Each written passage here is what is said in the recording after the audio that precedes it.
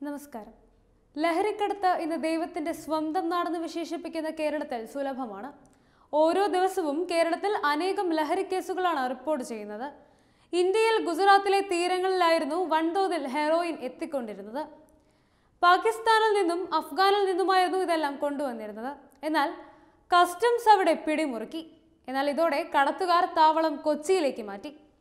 അഫ്ഗാനിസ്ഥാനിൽ നിന്ന് കടൽ മാർഗം കടത്തിക്കൊണ്ടുവന്ന അഞ്ഞൂറ്റി ഇരുപത്തി ആറ് കോടി രൂപ വില വരുന്ന ഇരുന്നൂറ്റി പതിനെട്ട് കിലോഗ്രാം ഹെറോയിൻ തീരസംരക്ഷണ സേനയും ഡയറക്ടറേറ്റ് ഓഫ് റവന്യൂ ഇന്റലിജൻസും ചേർന്ന് പിടികൂടിയിരുന്നു.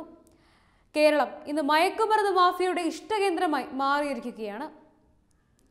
തീരസംരക്ഷണ സേനയുടെ സുജീത് ബോട്ടിലെത്തിയ ഡി ആർ ഐ ഉദ്യോഗസ്ഥർ ലക്ഷദ്വീപ് അഗത്തി തീരം വഴി സംശയകരമായി നീങ്ങിയ രണ്ട് ഇന്ത്യൻ ബോട്ടുകളെ കണ്ടെത്തി പിടികൂടുകയായിരുന്നു.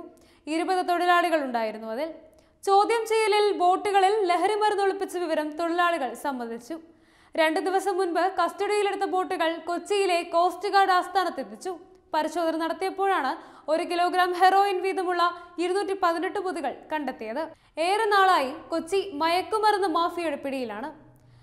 ചെന്നൈയിൽ നിന്നും മറ്റും മയക്കുമരുന്ന് എത്തിക്കുന്നതാണ് രീതി. ഇതിന് മാറ്റം വരുന്നു. അഫ്ഗാനിൽ നിന്ന് പോലും കടൽ വഴി കൊച്ചിയിലേക്ക് സാധനം കൊണ്ടുവരുന്നു എന്നതിന് തെളിവാണ് കഴിഞ്ഞ ദിവസത്തെ ഹെറോയിൻ വേട്ട.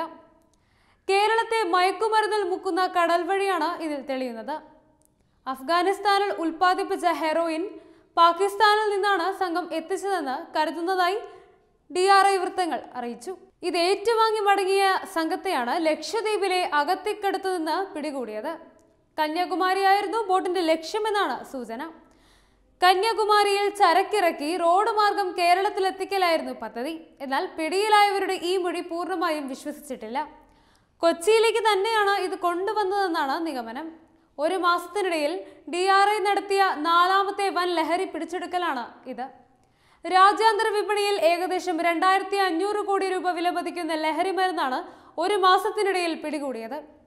രണ്ടായിരത്തി ഇരുപത്തിയൊന്ന് ഏപ്രിലിന് ശേഷം ഇരുപത്തിയാറായിരം കോടി രൂപ വിലമതിക്കുന്ന മൂവായിരത്തി എണ്ണൂറ് കിലോഗ്രാം ലഹരി മരുന്ന് ഡി ആർ ഐയും മൂന്ന് വർഷത്തിനിടയിൽ ആറായിരത്തി ഇരുന്നൂറ് കോടി രൂപ വിലമതിക്കുന്ന മൂന്ന് ടൺ ലഹരി മരുന്ന് തീരസംരക്ഷണ സേനയും പിടികൂടിയിട്ടുണ്ട്.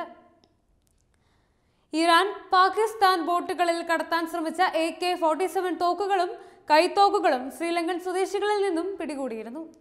മെയ് ഏഴിന് ഡയറക്ടറേറ്റ് ഓഫ് റവന്യൂ ഇന്റലിജൻസും തീരസംരക്ഷണ സേനയും ഓപ്പറേഷൻ ഗോഷ്മീൻ എന്ന പേരിൽ സംയുക്തമായി ആരംഭിച്ച പരിശോധനയിലാണ് രണ്ട് ബോട്ടുകളിൽ ഒളിപ്പിച്ച ഇരുന്നൂറ്റി പതിനെട്ട് കിലോ മയക്കുമരുന്ന് പിടിച്ചെടുത്തത്. തീരസംരക്ഷണ സേനയുടെ സുജീത് എന്ന കപ്പലിൽ സേനാംഗങ്ങളും ഡി ആർ ഐ ഉദ്യോഗസ്ഥരും ചേർന്ന നിരന്തര നിരീക്ഷണത്തിലൂടെ സംശയകരമായ സാഹചര്യത്തിൽ പ്രിൻസ് ലിറ്റിൽ ജീസസ് എന്നീ ബോട്ടുകൾ മെയ് പതിനെട്ടിന് പിടികൂടുകയായിരുന്നു. ചോദ്യം ചെയ്യലിൽ ബോട്ടിലുണ്ടായിരുന്ന ചിലർ കുറ്റം സമ്മതിച്ചു. മയക്കുമരുന്ന് നിരോധന നിയമപ്രകാരം കേസെടുത്ത് കൂടുതൽ തിരച്ചിലും അന്വേഷണവും കേസിൽ നടത്തിവരികയാണ്. ബോട്ടിലുണ്ടായിരുന്ന ഇരുപത് പേരിൽ മലയാളികളും Tamil Nadu സ്വദേശികളുമുണ്ട്. Web desk Tatwamayi news.